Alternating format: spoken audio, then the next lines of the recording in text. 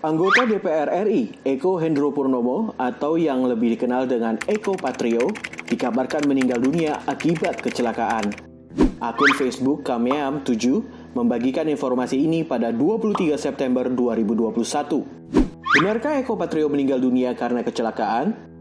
Dari hasil penelusuran kami, faktanya Eko dalam keadaan sehat dan masih aktif membagikan kegiatannya melalui unggahan di media sosial pada akun Instagram resminya @eko_patrio_super hingga 30 September 2021 terpantau Eko masih aktif berbagi aktivitasnya di media sosial. Dikutip dari turnbackhoax.id, foto sampul dari artikel yang beredar berasal dari foto pemakaman pelawak Sapri Pantun yang dipublikasikan oleh tribunnews.com pada 11 Mei 2021. Kesimpulannya, Kabar bahwa Eko Patrio meninggal dunia karena kecelakaan adalah salah. Informasi ini masuk kategori hoax jenis manipulated content atau konten manipulasi.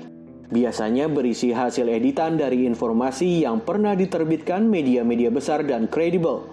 Konten jenis ini dibentuk dengan cara mengedit konten yang sudah ada dengan tujuan untuk mengecoh publik.